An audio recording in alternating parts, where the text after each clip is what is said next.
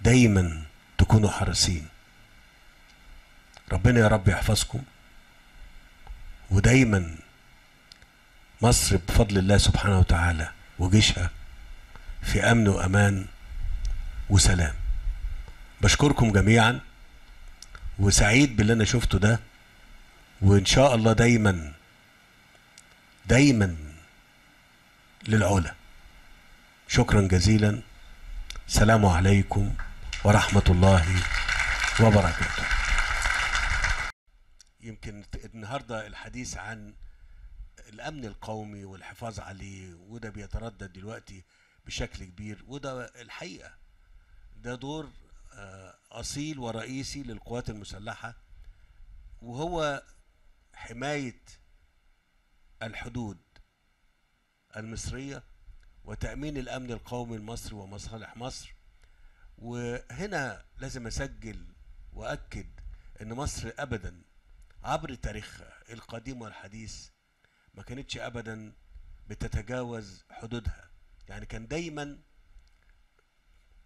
كل أهدافها إن هي تحافظ على أرضها وترابها دون أن تمس.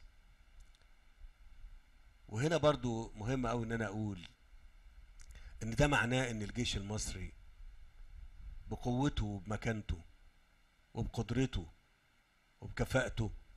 هدفه حاجة واحدة بس. هدفه هو حماية مصر وأمنها القومي دون تجاوز. وهنا عايز أقول في ظل الظروف اللي موجودة في المنطقة دلوقتي وكلامي هنا لينا كلنا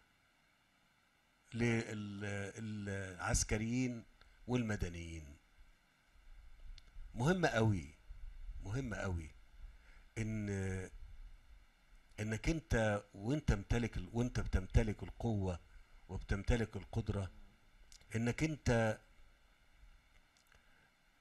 تكون بتستخدمها بتعقل وبرشد وبحكمة.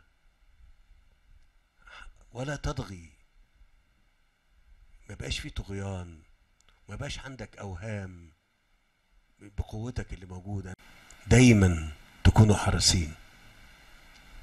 ربنا يا رب يحفظكم.